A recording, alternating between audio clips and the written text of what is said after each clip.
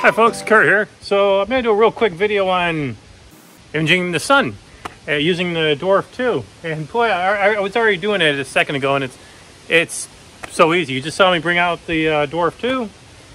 And the first thing you want to do before you do anything is you want to put the neutral density filters on the filter holder and open up your camera and just plop it in like so. That's the first thing you want to do. If you really, if you want to break your system, try imaging the sun without the filters on there because you're ruin the camera sensors. So make sure you, by all means, put that on first. Then all you really have to do is you want to manually just point it up towards the sun like that, like so, and that's it. And then you're going to turn on the system and see if you can find it. So that's what I'm to do next uh, using my little tablet here. Okay, let's go to work. Okay, we're on. So what you have to do is if you're looking on the screen, I'm, I'm hooked up. You'll notice on the, the wide field image has the sun in it. And that's that's awesome. I, I mean, so since you're using the wide field, it'd be real easy to find the sun. Usually, believe it or not, it's pretty tough to find the sun if you're doing it with normal solar imaging. Unless you have like a little solar finder, it's kind of kind of funny that the sun's the hardest, one of the hardest things to find. But anyways, what you want to do now is center it into the wide field so you can see it into the telephoto lens. So we're just gonna scroll up with the joystick. Oops, going the wrong way there. Oop, oop. There we go. All right, once you have it into the frame like you do, uh, next thing you want to do is you want to come over here to where it says feature and you want to make sure it says press the sun tracking thing and it says place dwarf on a flat object. Make sure it's within three degrees. It is. Uh, ensure the neutral density filter is on. It is and they give a recommendation for the, your settings you should have on your sun. Make sure it's recommended that you have the sun with an exposure of 1 to 200th of a second and zero gain. So it says go to tracking, so now it's tracking the sun, so it should stay in the frame of view. And now we can come over here and check our settings. And our setting, we're going to make sure it's at 1 to 200. And we'll turn the gain down to zero. Okay, then you just have to focus it. Now you can see I've already focused it here before. I'll make it out of focus to see. So let's say it's like that when you're first imaging. Well, you want to focus it. And so you can just do it until it's focused. You can actually make it bigger and you'll see there's some sunspots on here. There's a series, uh, of the groupings of sunspots. And you want to do it so they're all as best as you can get it. Now, you'll notice they don't come in super perfect and I don't know if people, I don't know if you've heard this before. You might have heard of the word seeing versus transparency. Well, this is seeing. It's You're never going to get it truly in focus when you're looking at the sun or you're doing planets. Uh, that's because of the atmospheric disturbance. That's what's causing this distortion. It's seeing conditions. And so what people do, they'll take a little video and then stack the video and it'll take the best of the clippings of the from the video to produce an image. That's how they get a, a clear shot. But this is actually a really good shot right now of the sun. And you can see all the groupings of the thing. So I'm going to just press photo. So now that's what it's taking a picture of. All right, now I'm going to do a video. So I'm going to go to video mode. Okay, folks, how you doing? It's another day, and I'm redoing my video of the sun because I actually did not image it for long enough in my previous video. So now I'm gonna image it for over a minute. Everything's all set and I'm gonna press it to video mode. Oh, and by the way, here are my settings right now. I've, I got it set for 1 320th of a second, gain is a zero. I left everything else alone down there. So all I gotta do is just turn on the video and let it record.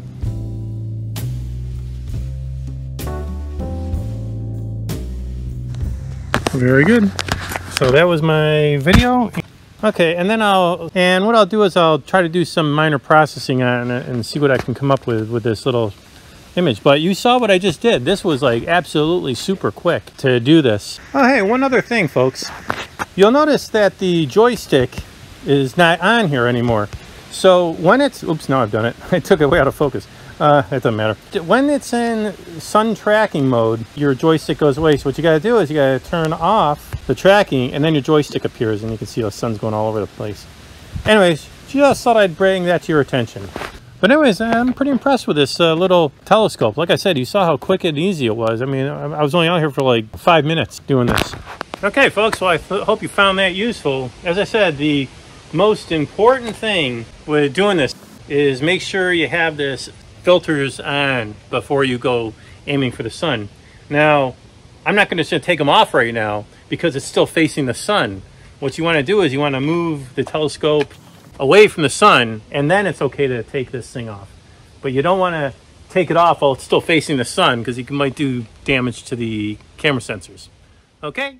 Okay, folks, in this next step, I am going to take my 1 minute and 41 second video and I'm going to process that. Let me close it out on to play the whole video. So I'm going to use two different programs to process this part, and I will provide links to both of those. The first one is this program called PIPP, and that's going to pre-process it, and then I'm going to use another program called AutoStakkert. So here goes. You open up PIPP, you can add the source file. So here's that video, and here's what it looks like. Okay, so source files, we're going to make it solar lunar down here, make sure it's solar lunar full disk. Then we're going to come over here to image input. We'll pretty much leave everything alone here except, yep, we're going to keep these bigger the raw images. So we're going to keep everything okay here. And then we're going to go over to processing options. And you want to make sure not to convert it to monochrome. So leave it in color. And we're going to keep the cropping. Definitely keep the cropping. And everything else is the same. Image quality, we're not going to touch that. Animation, we're not going to do anything with that. Output options, we're going to make sure it says AVI. It seems to default to TIFF, but we're actually going to make a AVI, so it's still going to be a video. And make sure it says DIB, raw, and compressed. And everything else looks okay. So now we press do processing. And then we got to come over here to press start processing. And now it's actually going to do it. This will take a few minutes. It'll take, it'll be quicker if it was not, if I was on my other computer, but I'm on my not so fast computer. Okay, it's all done. Let's close this out and see what it did for us. It created a separate folder, and here's the actual, the PIPP video. And notice how it's no longer, it's, it's centered right onto the, the sun. Okay, it's still, oh, and by the way, it's still 1 minute and 41 seconds long. Okay, now let's go to the next part. Okay, in this next part, I'm going to use AutoStakkert. Now, both PIPP and AutoStakkert are absolutely free. And again, I'll provide links in the comments section. So you want to open up that PIPP file that we just created. I'll look for it. Okay. So you want to make sure it says surface and we'll leave everything else expand. I'd like to put crop down here. This is not oversampled, so we're to normal range. Yeah, let's leave it at 4, that quality estimator.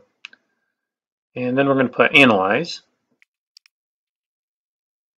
Again, this would be going quicker if I had my supercomputer. Right now I'm on my laptop Okay, so now what we have to do is we're going to come over to this part. I like to leave this thing at, for the sun anyways, for this type of image, I'm going to leave it at 24. And I'm going to put the minimum brightness probably around 25. You can play around with this. It, after you stack it, the stacking goes pretty quick and you can uh, see what type of image you want to see if it gives it better, if it changes it any bit. But I've done this already and I determined that 25 was optimal for this object. And you'll notice it puts these little squares into the image of the sun, and that's fine. I'm going to come over here and I'm going to the where it says stack. I'll leave it a, a TIFF file. Now you can have your choice now. You can either have it stack 30% of the 2100 frames or you can have it stack a certain number. Now I'm going to have it go with 200 frames and I'm so I'm going to change this to zero so it's only going to stack 200 out of those 2000 so that's about 10% which is actually it's plenty I think. Oh and by the way I'm not going to drizzle it. I'm going to leave drizzle off for now I actually already tried drizzling for this object and it didn't seem to work too well okay well it's done let's see what type of image we've got I'll just close this stuff out well, hello folks. For this final processing, I'm going to use Photoshop. If you're already a photographer, you may already be familiar with Photoshop. If not, Photoshop does cost money. However, there are some free knockoffs that are very good and very powerful, and they work almost exactly like Photoshop. One of them is called GIMP, and the other one is called Photopea. I will provide links for both of those programs in the comments section. But anyways, let's see what AutoStakkert gave us for their processing. This they it produced two images. It produced this one, which is right in front of us right now, and it also produced this one. This one right here is which says CONV, uh, which stands for convolution, and it's sharper. Now I'm going to use this one, the one that's sharper, to do the final processing with. And again, I'm going to give a, just a real quick tutorial and nothing super fancy. So the first thing I like to do before I do anything is make a copy. Oh, by the way, here's what the full screen image the image produced. I'm I just made it bigger so we can see what's going on. I'm going to make a copy. So I press duplicate, and here's the copy. The reason you want to make a copy is so you don't screw anything up. All right, so I'll make it bigger again. There we go, that's good. So notice how this sharper uh, image, it really does show a lot more surface detail than the one that was not sharpened. So that's why I'm I'm producing the, I'm, I'm going to use this one. But some people might like this one better without a lot of that surface detail. So I made a copy of the image, and that's what I've got right now. And I'm going to make a layer. The first thing I want to do is I want to make some color, colorize the, the sun. The way to do that is I could go right in and colorize the whole thing, but I'd be colorizing the background. What you really want to do is make a mask. And the way to do that is you come over here to select. Actually, there's many ways to do it, but I'm just going to do this way. So color range. You can come over here to red, yellow, green, blues, magentas, but I'm going to do highlights. So I've got highlights. You can actually adjust it, you know, like doing this, like the whole thing there, but I'm, I'm just going to keep it like about like this. Press OK. Next thing I'm going to do is come back over to select and come down here where it says select and mask. What that does is it produces that original mask, but I'm actually going to put a feather on here now just to featherize it so it's not as sharp. Press OK. And the next thing I'm going to do is come down here where it says, press this button where it says layer mask, and I'm going to highlight the layer mask. So now what it's going to do is anything I do is only going to affect the sun portion where it's the colorized mask. And I'm going to come over here to image, adjustment. Now I can adjust the colors by selective color.